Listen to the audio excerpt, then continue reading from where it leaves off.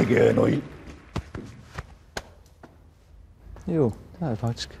Ja, tak. Jeg har egentlig holdt op med at ryge, men uh, Nå, husk de adressen, ikke? man kan ikke ryge nogen steder efterhånden. Det er rent chikane. Nej, ja, eller jo. Men jeg tænker på, øh, hvordan er det øh, med den der nye skolereform? Jo, det er meget godt, hvis man lige ser bort fra, du ved, eleverne og lærerne og ledelsen og forældrene og alt det der. Så er det sgu egentlig meget fint, for der findes kun én mand, der har nøglerne. Det er mig. Bum, sagde han.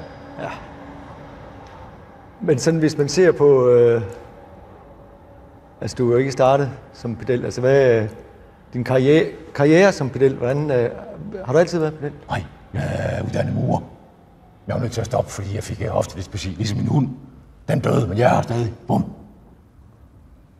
Hmm. Ej, jeg har jeg set dig før. Det vil jeg ikke udelukke. Aarhus. Hobro.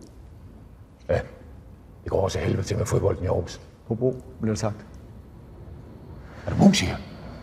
Ja, det må jeg indrømme. Jeg må desværre indrømme, at jeg er mus. Er det rigtigt? Har, har du spillet i radioen? Yes. har du også spillet for dronningen? Ja.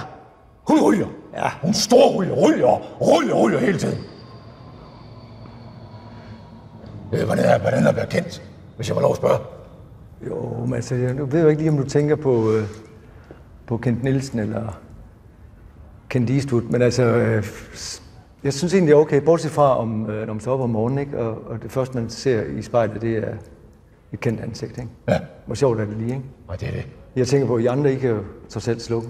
Ja, lige præcis. Den kender jeg godt, fordi hver aften foran fjernsyn, så dør jeg fuldstændig. Altså før kl. 38. Bum, så er jeg helt væk. Død, som en sild.